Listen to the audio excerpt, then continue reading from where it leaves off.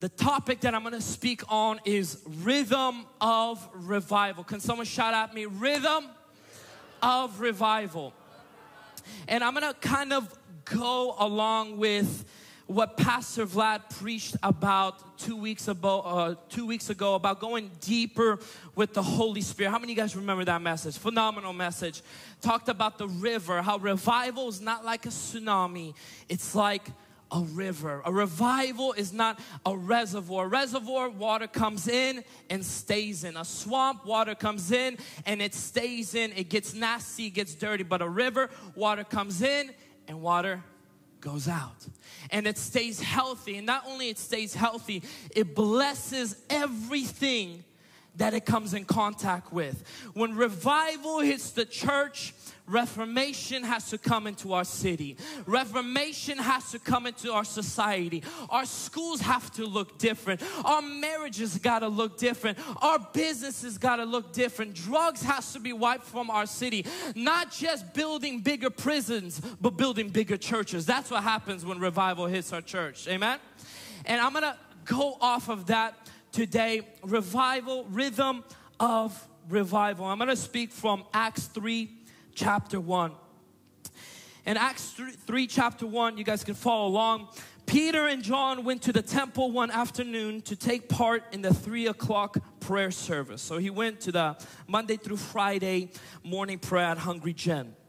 And as they approached the temple, um, a man lame from birth was carried in. Each day he was put beside the temple gate, the one called the Beautiful Gate so he could beg from the people going into the temple.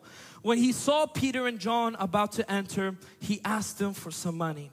Peter and John looked at him intently, and Peter said, Look at us. The lame man looked at him eagerly, expecting some money. But Peter said, I don't have any silver or gold for you, but I'll give you what I do have. In the name of Jesus, of in the name of Jesus Christ the Nazarene, get up and walk. Then Peter took the lame man by the right hand and helped him up. And then, and as he did, the man's feet and ankles were instantly healed and strengthened. Come on, somebody, can I get an amen? He jumped up, stood on his feet, he began to walk. Then, walking, leaping, praising God, he went into the temple with all of them. Verse 9 All the people saw him walking and heard him praising God. When they realized he was the lame beggar they, they had seen so often at the beautiful gate, they were absolutely astounded. They all rushed out of the amazement to Solomon's and they gave praise. Today, rhythm of revival. I believe God wants to do something in our church. I believe this next year for our church, God is gonna pour out revival. But I believe sh- revival comes when there is a shift. Revival comes when there is a breaking. And I believe next year, more than revival is gonna be out there, I believe revival is gonna start in here. I believe God is gonna shift something in the side, in the in the heart of every single believer that will cause us to begin to spread the gospel, that will cause us to begin to preach the gospel, the good news to people. And the first point I want to bring to every single person here, and you guys can write it down or follow us on our notes, is stop by the people others pass by. I want you to see this. The lame man, when Peter and John, they were going, you look in the Bible, Peter and John were not going to this lame man to pray for him. Peter and John were on his their way to pray at the temple. The lame man was not in the plans of Peter and John that day. But how do you how many of you guys know they were on God's heart? Peter and John, they would did not wake up in the morning and think about, I'm gonna go to this lame man on the side of the beside the temple gate called Beautiful, and I'm gonna evangelize to this man. No, no, no. They were headed on their way to pray. And as they were on their way to pray, they were sensitive enough, they were aware enough to spread the gospel to a lame man. I want to bring a point to you guys today. You don't have to go out to evangelize. You simply just evangelize as you go. You don't have to ev- go out to evangelize. You simply make up in your life, my life is not what I want to do, and then somewhere on the list, if if something presents itself, if if if we really do evangelism and church does it, and then I will evangelize. No, no, no. The gospel, the the great commission in Matthew 28, that go therefore out to all the nations and make disciples and save the lost, baptizing. I build my life on what God wants me to do, not my purpose, but the purpose God has for me. And you will find that as you go as you live your life, evangelism happens. When God, and I want you to see this, when Peter and John prayed for the man, this is what happens. His feet and his ankles instantly got uh, strengthened and they got healed. When you allow God's heart to intervene into your plans, God will begin to use your hands. God will begin to use you to do miracles, signs, and wonders. When you get so close to God and you say, God, I might not be an evangelist. God, I might not be a pastor. God, I might not be a preacher. But God, what I am is available. I might not have the ability to preach. I might not have the ability to, to preach like Pastor Vlad or this person or evangelist. But what I do have is I have your word in my heart. And what I do have is a voice. What I do have is a business. And so when you allow God's heart to intervene into every plan that you have, you watch your business will no longer be selling product, just selling products. Your business will be saving people. When you allow God's heart, when you allow God's what God's heart breaks for, what Jesus died for, to be what you live for, you will see evangelism won't be a department in our church. We might have it, we might have people, we might hire people, but the job of seeing revival in our city, of seeing reformation in our society, is not the job of the pastor, but the everyday churchgoer. Can I get an amen? Your greatest ability is your availability. You might not have what it takes. You might be like, well, Zack, I don't got a mic like you. Zack, I don't have a voice like this, a preaching gift. Are you available? And God is gonna begin to use that. You just begin to step out. See, faith is not knowing exactly what's gonna happen, faith is stepping out so God can step in. Step out on that way to work. Step out on the way that you're in your school, and you will begin to see revival in our city. I believe there's a rhythm to revival. I believe revival, just like Pastor Vlad preached, it's not a raging tsunami, it's a river raging tsunami, it's gonna wipe everything out. Yes, we are believing for revival. Yes, we're believing for an outpour of the Holy Spirit. We're believing like the day of Pentecost, 3,000 people get added to the church. We're believing for all of that. But there's also the base, there's the foundation. There's like the, God's heartbeat. When you think about a heartbeat, it's consistent. Our heartbeat is constant. This is how revival is in our city. It's constant. It's not a, a, revival doesn't come when a pastor preaches a sermon. Revival comes when every church goer stops by the person everybody passes by. Think about this. This lame man was begging since birth since birth. So it has to be many, many years that this lame man was begging. And it was only Peter and John that stopped by to offer him a miracle, to offer him Jesus. How long has this man been waiting for a miracle? Can we be sensitive enough, close enough to God's heart to hear what his heart beats for? And that is souls. That is the lost. Revival there is a rhythm to it. I don't believe revival is just a season. I don't believe it's just a section of your life. Revival is an everyday surrender and serving Jesus, serving God. It's being on fire for God every single day. You don't have to be great. You don't have to be the pastor. You don't have to be the evangelist to go out and be the difference in your society. It doesn't have to be big to be impactful. It doesn't have to be thousands. It can be one or two Come on, somebody. You don't have to be able, you don't have to preach to a, a congregation of 10,000. But you can lead a life group of 10 people. It's stopping by the person everybody passes by. It's saying, God, break my heart for what breaks yours.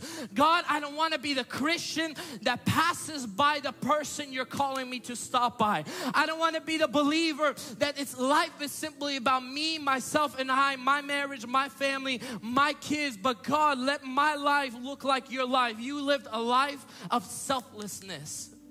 We didn't just say, God, we love you, but love always is backed by action. For God so loved the world, He gave.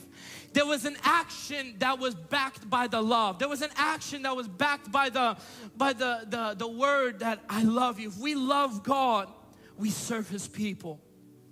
I love what Pastor Vlad said. He shared this quote uh, two weeks ago. A pastor who wins 10,000 people monthly will win the world in 60 years. How I many you know? I know Jesus is coming soon, but most likely he's coming before 60,000 years.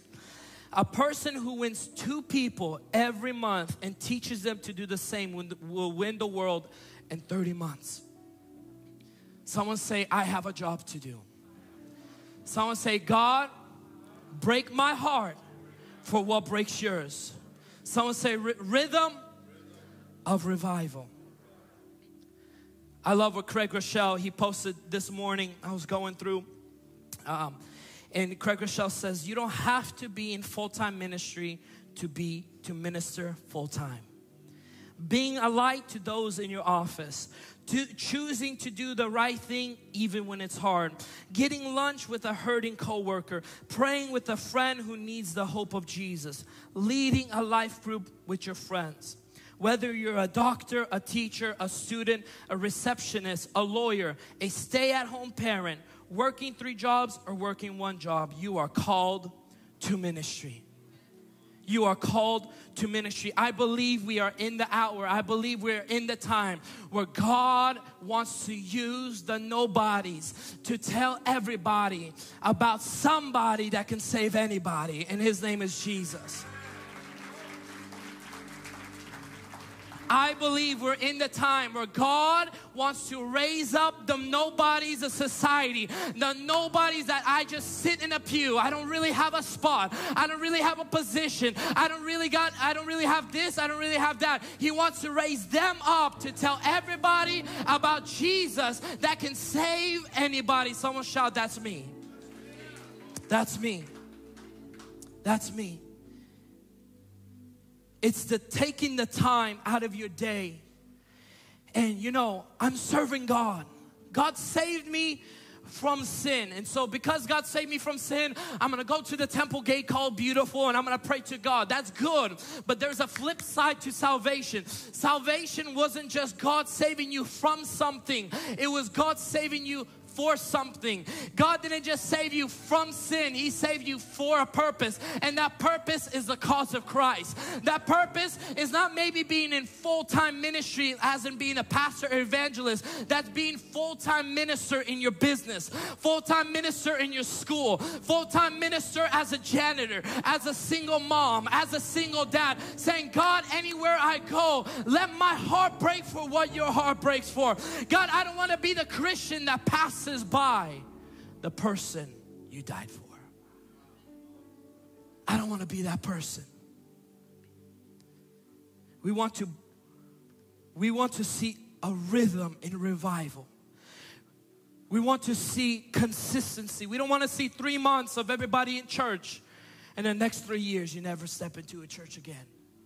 We want to see that a river, it flows, it's constant, and it brings life. That when revival is in your heart, you take it everywhere you go. Revival is not gonna be when everybody comes to church, it's gonna be when the church goes to everybody. It's gonna be when we know we take that, you know, salvation, God, you saved me from my sin. Thank you. But you also saved me for a purpose. And I know I might not be this person. God, I know I might not have this influence. But if, if I know a person or two, I have influence in my life. There's something inside of me that God, that I'm carrying, that God wants me to release to my neighbors. There's something about that. We don't want to be a church that burns bright and then burns out. We want to be a church that burns for long. Revival has to be integrated into our routine. We don't, yes, there's gonna be times where, hey, today as a church we're going out and to evangelize. Hey, we're doing a park service. Hey, we're doing this, we're doing that. An unashamed club. Yes, that's great. But that that might be a platform for us to use, but our purpose is to spread the gospel in every area of our lives.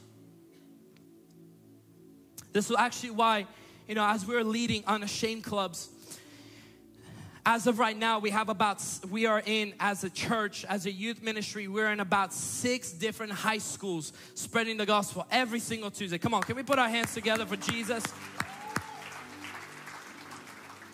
And we're seeing so much change happening happening in students' lives. But what I tell our students, our student leaders, when we have leaders meeting, and anytime, anytime I, I see them, I tell them, hey guys, I know we have unashamed clubs happening on a Tuesday lunchtime. I said, but do not limit unashamed clubs to a Tuesday at lunchtime. Unashamed Clubs is not just a program, it's a people, it's a purpose, it's who we are to share the gospel, it's what we're called to. So don't, yes, we have it on a Tuesday lunch, but take it to your football locker room, take it to your volleyball practice, take it to your family. We are called to be unashamed of the gospel, we are called to be carriers of God's presence, we are called to be the people that say, I'm not gonna limit my Christianity to a two hour service on a Sunday morning. My, my, my Christian life is a walk with God. I'm not gonna have to go out to evangelize. I evangelize as I go to the marketplace. I evangelize as I'm working in a janitor job or a tech job. Anywhere I go, I'm an evangelist. Anywhere I go, I'm a preacher of the gospel. Come on, can we put our hands together for Jesus? It doesn't just belong in a club. It belongs in the coffee shop. What's in the church belongs in the streets. It belongs in every area and aspect of our society. And when we don't rely on a pastor to bring down the revival. And we take on that call, we take on that burden to see souls saved. You might not say 10,000, but you can see 10,000, 10 people, uh, disciples saved and sent in your life group, in your connect group. There is an impact that you can make, whether big or small. God didn't call us to be successful in the eyes of man, He called us to be faithful. What, what world did God put you in? Is it in the world of, of social media? Is it in the world of the friends in the area that you're around? May 2024 be the year that God breaks your heart. Not that you get your heart broken by people, but your heart is broken for people. See, there's a pain that comes when people break your heart. I believe as we say, God, break my heart for people, there's gonna be a whole lot less heartbreak. Can I get an amen? Someone that's a word for 2024. Come on. We're going to see revival. Someone say revival. God is going to pour out His Spirit. I believe there's something huge coming. I believe our church is on the brink of seeing thousands flood our church. But we're not gonna just sit here, cross our arms, and say, God, when it happens, it happens. What we're gonna do is we're gonna position ourselves, we're gonna align ourselves that when it does come, we catch the outpouring. That when it does come, our cup is aligned with the outpouring so that we can see it. Our systems are ready to see thousands, our structure is ready to see thousands we have enough life groups to fit the people that God wants to send to us. You know, I tell our students, our youth group, I said, guys, God, He's not running, He's not looking on His shelf of revival and He's like, oh, we're running short. Uh, we're out of stock. of revival. I mean, guys, keep on praying. Maybe it's on back order. You know what I mean? It's back order. It'll be here in a few weeks, maybe a few years. Uh, but just keep on praying. And when it does come, I'm going to give it to you. No, no, no. God is not running on shortage of revival to give to our city. I believe God says the harvest is plentiful, but the laborers, the workers are few. So instead of saying, God, pour out your revival, say, God, ready me for revival. God, make me a person that can carry your gospel, God. Make me a person that's unashamed of the gospel. That when the revival comes, when your spirit comes, when the opportunity comes to share the gospel, I don't run away from it, but I dive into the opportunity. I don't say, well, the pastor's gonna do it. No, no, no, no. I'm the preacher to this person. I'm the evangelist to my friends, to my family. In Jesus' name. You know, as I was reading this passage, I saw three different types of people that came in contact with this man. The first person that came in contact with this man was the people to, uh, that offered to move him to the gate. The second person was the people that offered him money at the gate. And the third person, third people, were the people that offered him a miracle to get inside the gate. I believe inside the gate, you know, as God was bringing me this word, really fun, inside that gate, inside the temple, it's like, it's like heaven. It's making, it's eternity with Christ. If you picture with me. And, and I really felt like God was saying, hey, there is good people in this world people that are going to offer to move them close, help them out in life. There's gonna be the people that are gonna offer them money, material things, and all of that is good. We have this, we have other things to offer people, but I really felt, really, as I was studying the scripture, it's us as believers. We have the only thing, the only thing we have to offer that other people can't is not money, it's not material things, but it's a miracle that not get that doesn't get them to the gate, by the gate, near the gate, just close enough to heaven. But what we have to offer might not be money, but is a miracle. What we might not have to offer is uh, a house, a car, a job, but we do have to offer Jesus that cannot get them by the gate, but can heal their legs, that can heal them from their sin issue, that can transform their life and get them into heaven. Can I get an amen?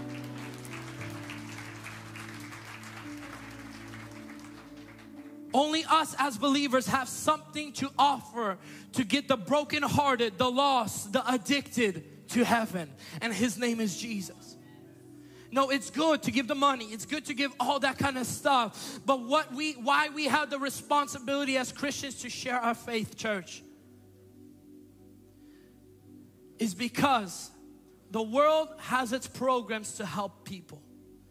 But we don't have a program we have a person that from heaven came down to earth, put on skin, walked this dirty earth, and died on a cross and rose three days later we have Him to offer to those to say, hey, you don't have to stand by the gate. Hey, you don't have to stay addicted. You don't have to stay lost. You don't have to go from divorce to divorce. Hey, you don't have to work three jobs and constantly be in lack. Hey, you don't have to struggle in your family. The devil doesn't have to torment your family forever. What I don't have is money, but what I do have, I give to you. In the name of Jesus of Nazareth, rise up and walk. I might not have material things. But what I do have, I give to you. In the name of Jesus, rise up from your addiction, rise up from your pain, rise up from depression, rise up from torment, rise up from addiction, rise up from divorce. Get up and walk. Get up and walk. The gate is open for you. Come on, somebody. Give God 10 seconds of praise if you believe that Jesus died on the cross for you. Come on, someone say, I'm unashamed of the gospel. Come on, somebody. Yes, Jesus. What you are asking for, I do not have. But what I do have, I offer you. In the name of Jesus, rise up and walk. What we have is more important than the world can give. You know, as I was going on into this passage, it kind of made me laugh. uh, as this man got healed, the lame man, and he walked into the temple gate dancing, praising, shouting. I want you to see what, what everybody said. All the people saw him walking and saw him, heard him praising. When they realized he was the lame beggar they had seen so often. So this these people in the gate, they saw this man. They weren't blind. Okay? Don't say you don't have an opportunity to evangelize. He was, people are there. It's just, are you looking? These people, it says, they saw the man coming in that they passed by at work every single day. This man that was coming in, they saw this woman that they passed by the park when you were walking your kid and she was walking her kid. You saw her every single day walking in. They were surprised. Wow, you made it. Wow, you made it into heaven. I don't want to be the Christian that makes it to heaven and then watches a person I pass by every single day walk in and say, Oh, wow, you made it. well, can I give a word for somebody? It's usually the person you're passing by, the person you're not talking to. It's the person that when you get to heaven and they get to heaven, you're gonna look at them and say, Wow, you actually made it here. Yeah, we all got that people in the back of our head. You're like, yeah, this person's definitely not making it. Unless Jesus himself comes, which he did. And so, God help their souls. It's the person that if you to go to heaven, and when you go to heaven, not if, come on somebody. When and they go to heaven, you don't you look at them and you're like, wow, I'm surprised you made it here. It's you probably that person God is calling you to stop and talk to them. Amen. Some of you guys got that person. You got to go back to work and talk to that person. Sometimes the greatest miracles will come from the greatest inconvenience. I know it's inconvenient to you to do this. I know it's inconvenient to you to stop. And um, I was just right now before worship. I was in the in the bathroom washing my hands. The other guys washing his hands, and I was like about to leave, and I was I was never seen this guy before. And right there, in the, uh, you know, we shook hands and then we washed our hands. And then some of you, I'm gonna be praying for some people that like, miss me with that. Come on, somebody. And within me, I felt God right there. You were about to not do what you're about to preach. And I was like, all right, God, sounds good. Hey, bro, I know you're about to wash your hands. Do you have a number? Have you been here before? Have you been to our youth? No, God, his number. And I realized, now it's so easy to talk about it. It's another thing to live it.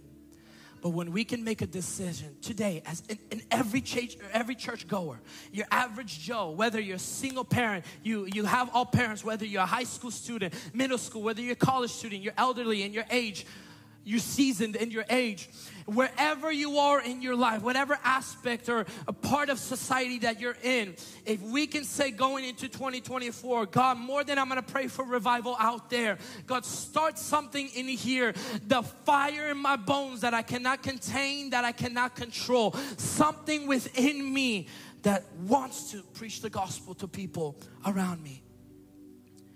You know, when I was starting unashamed clubs in our youth last year. We started our first club in March 30th. We've seen hundreds of students come to know Jesus. Hundreds. This past year, we've seen over 300 students, high schoolers, say yes to Jesus in their high school. God is good. And when the, one of the biggest thoughts that came to my mind, why I started the Unashamed Clubs, because I began to think, first of all, we had nobody in our youth. So I was like, I need to find some way. Okay? Should be real transparent with you guys. And I began to think, expecting a non believer that has never been invited, has never seen a post on Instagram, to randomly walk into church is equivalent to a criminal walking into the police station. It's just not gonna happen. And if it is, he's basically saved already. He's that good if he walks into church. This is why the this is why the police men, the cops What do they have to do to get a criminal? They have to catch them. What did Jesus say? If you follow him, if you follow me, I will make you a fisher of men. What do you do with fish? You catch fish. You have to go to where they are. You have to go to where the loss is. Expecting them to come in is like expecting a robber to turn himself in. And so that's why we started Unashamed Clubs. I was like, okay, Students, yeah, they might trickle in here and there, but we have to go to where they're at. We have to catch them. We have to see a miracle catch in our church. 2024 has to be a miracle catch of salvations. 2024 has to be a miracle catch for your family. You're not just writing down names, you're putting them into the heavenly realm. And you're saying, God, I'm going to pray until we see them saved. God, I'm going to see my friend that is in alcohol. I'm going to see my brother that is lost. I'm going to see my son and daughter that is in sin. God, in the heavenly realms, in prayer, God, in fasting, we're going to catch their lost soul. We're going to see them saved. We don't just pray for jokes. We don't just pray every single morning, Monday through Friday. You will see every minute, every hour, people on their knees praying over the lost names. Why? Because it's not just a phrase that we that we say. Yes, we might not be able to do this, but what we do have in the name of Jesus, we're gonna pray them out of their pit of hell. In the name of Jesus, we're gonna pray them out of their drugs. We're gonna pray them out of their sin. We're gonna pray them out of their lost life. Can I get an amen? We're gonna catch them. Follow me. Following Jesus must lead to fishing. You know, I remember the story of Aiden. We mentioned, we mentioned last time I preached on youth conference, we mentioned Aiden, a student. He was in Chiawana High School, had a very rough up, up, upbringing, a very rough life and as he was living his life, he was in school, about to get kicked out of school. One morning, Tuesday morning, he was walking for lunch. He was walking past the portables, and we had our unashamed clubs in that portable. He was actually walking past the portable to go up the hill, and that's where he smoked every day for lunch. Uh, interesting lunch. And so, as he was walking on his way up the hill to smoke, somebody stopped Somebody stepped into their inconvenience, stepped into the moment where they could have just went straight to the class. Hey, they're living a Christian life. They were saved from something, so they're gonna go serve God. They stepped into that and saw an opportunity. Hey, what are you doing? Um, yeah, I'm uh, going up the hill just to chill. And they invited him to Unashamed Club. Ever since that day, he came a couple times, didn't know what he was doing. He was high as a kite. But months later, now he is going to unashamed clubs, not to receive, but to preach the gospel to other students.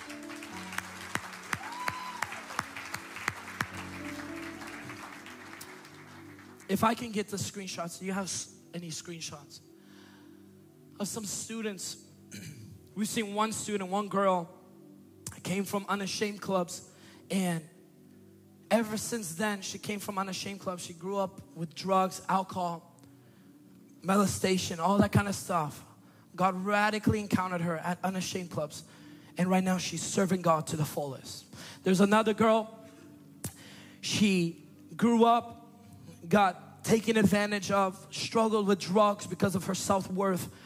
It was just shattered. Her identity shattered, and so she ran to guys. She ran to girl, to uh, to drugs, to other types of stuff randomly walking through the hall and somebody, one of our leaders, one of our students, stepped out, said, "You know, I, am comfortable. whoever comes to the uh, to the club comes to the club." But they stepped out and said, "Hey, do you want to come to the club?" Didn't know what it is. Came to the club. Till this day, she is serving Christ.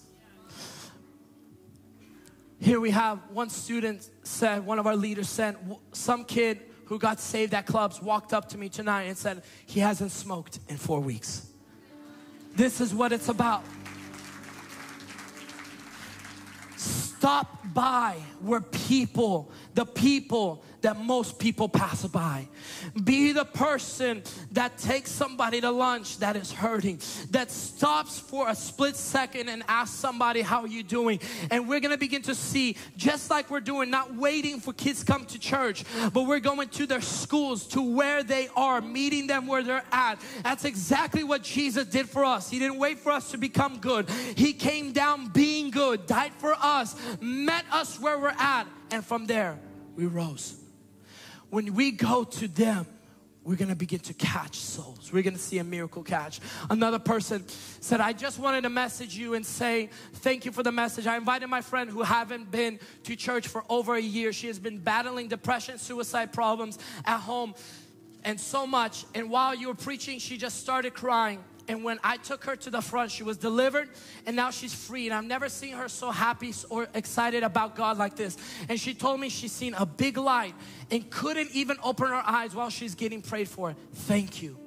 This is a person that on the outside looked great, but on the inside was broken. And it took somebody to tell everybody about Jesus and guess what? She got saved, set free, and delivered. This is what it's about. You don't have to be on a high pulpit to be able to be influential. You don't have to preach to 10,000. You can lead a life group of 10 people. And you can see slowly but surely if every person here doesn't just walk into the gate called beautiful. You don't just walk into the gate with you and your bestie, but you walk into church. You walk into the gate with a lame man, with a broken man. God, I don't want to come to the church and just pray. I want to come to church with the lost. God, I want to come to church with the brokenhearted. God, I don't want my hands to be empty when I go to heaven. When I go to heaven, I don't want to look back and say, I passed so many by. I want to look to uh, go to heaven and say, Look, God, who is with me. The people everybody passed, I stopped at. Everybody didn't talk to, I talked to. Come on, somebody. Come on. 45% of unchurched US teenagers said they would be interested in attending church if somebody invited them. That means people want it. You just, we, the workers are few, the laborers. We are the laborers. We are the workers. We are the people that might not offer them material, but not, might not offer them money, but we can offer them a miracle. And that miracle is a gift, the gift of salvation that Jesus died for, for you and for me. In Jesus' name. Number two point, I'm going to be bringing this to an end, is hear the cry behind the question. Hear the cry behind the question. I want you to pay attention to this lame man. I want to ask you a question. If you were lame, if you could not walk, what would you want in that moment? If you could get anything you wanted, I don't think you would want the money. I would think you want the miracle. When we, as Christians, and I'm talking about the case of eternity. When it comes to some people are struggling, sometimes the best thing you could do is give them money. Something the best thing you could do is buy them a pair of shoes. That's charity, all that good uh, being just, it's not even Christian, it's a godly principle. You just, good person, you give money, your clothes, your, your, all this kind of stuff. You, you give them, buy them a meal. It's great. But when I'm talking about the case of eternity, money can't do anything. They need a miracle. Why wasn't this lame man asking for a miracle. Not only he wasn't asking for a miracle, they said that when he was asking them for money, Peter and John looked with at him intently, and Peter said to him, "Look at us." This man, that means this man has settled for money for so long, he's not even expecting a miracle. Some people you might be in that lie. Well, hey, people they, they don't want church. They don't want God. Look, he's asking for money. I mean, look at this person. He's drinking every day. When I, you know, he doesn't want church.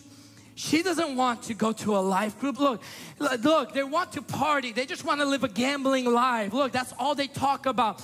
Yes, that's all they talk about. But maybe, just maybe, and it's just a big maybe.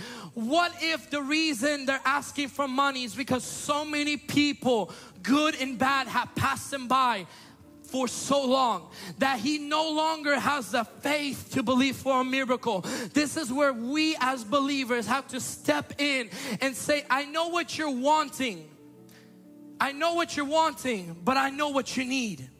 You're wanting a miracle, but you because you've settled in your situation for so long. You're okay with the divorce. You're okay with the joblessness. You're okay with the broken family. And what you want is just a band-aid on top. Because if I give you money, guess what? You stay where you're at. But if I can give you a miracle, if I can offer you Jesus, you can get up from where you're at, which is the if you're lame, whether you're Christian or not, you want to walk. When you're lost, whether you know it or not, you want to be saved. You want to be found. And we as Christians got to be spiritually mature to look at the person and see past their ask and see their cry.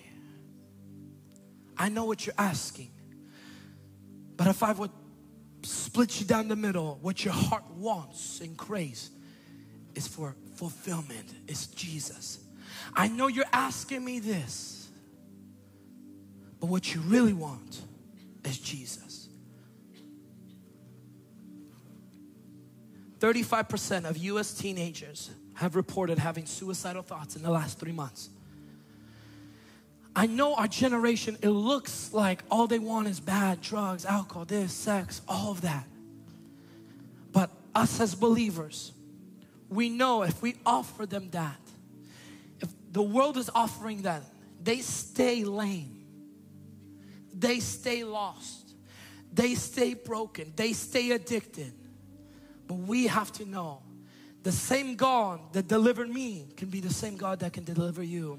The same God that saved my brother from eight years of drug addiction can be the same God that can save your brother, that can save your son, that can save your daughter, that can mend the marriage, that can mend the finances, that can bring the, uh, the family back together. I know what you're asking, but I know what you're needing. And what you need is not that girl. What you need is unconditional love, and that comes from the Father. I know what you're doing is filling yourself with alcohol, but what you really want is fulfillment that only comes from God. It only comes from God.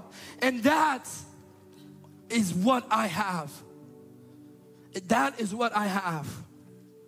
And you know, when they're asking not for Jesus, when they're asking for the world, for material things, it's very intimidating in that moment to say, hey, what about Jesus? And so you get that lie, the biggest lie that I, I believed. What if they don't want it? And I'm gonna give you just really, really, just profound, the best advice you'll hear in 2023. But what if they do?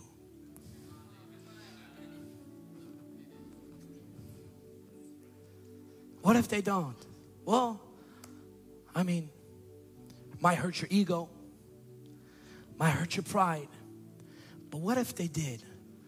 We lost eternity, a soul with eternity with Christ. That was the biggest thing that broke it for me. If they don't, cool. Shake off my. If you want to stay lame by the side of the gate, that's up to you. I'm going to the gate, but I'm offering a hand. I know you. You don't see that you're broken. I do. Some people don't know what it is to live a mended marriage, a good family, but you do. Or maybe you've never lived it, but you know from the Bible standpoint what God promises. And from that, say, hey, you don't have to live in your dirt. You don't have to live in the pig's pen, uh, a prodigal son. You don't have to. Over here is much better. And you offer that hand, you offer that help to the people. It might feel like they don't want. And if they don't, it is what it is. But if they do, that's a life transformed. That's another person added into the church. That's another person that's saying, God, I'm going to serve you with all that I have. And I bring this to an end. God's heart is people. God's method is your life. God's heart, what heart, what his heart breaks for is for you and for, for, for you and for me. It breaks for the lost, God's strategy, His method is your business, is your career, is your school, is your life group, is your voice, it's your impact, it's your influence, it's the reach that you have, the people that you know, the companies you're connected with, the businesses that you've came across. It's this person, the long lost cousin. It's your life that God wants to use. It says, found people find people. We are people that God's not just gonna save from sin, but He's gonna save us for a purpose, and that purpose is a great commission to go out into the, all the world, uh, baptizing people, discipling them, and saving them. In Jesus' name we pray.